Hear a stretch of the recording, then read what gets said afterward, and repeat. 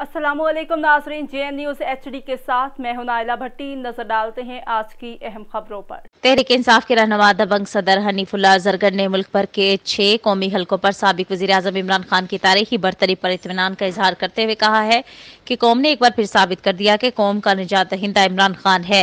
इन ख्याल का इजहार उन्होंने आज मीडिया के नुमाइंदों से गुफ्तु करते हुए किया। उन्होंने मुल्क भर के छह कौमी नशस्तों के इब्तदाई नतज में सबक वजी अजम इमरान खान की तारीखी बरतरी को खुशाइंद करार देते हुए कहा कि दो हज़ार अठारह के आम इंतबात में अवाम ने पी डी एम में शामिल जमातों को तारीखी शिकस्त देकर सबक वजी अजम इमरान खान पर अतमाद किया।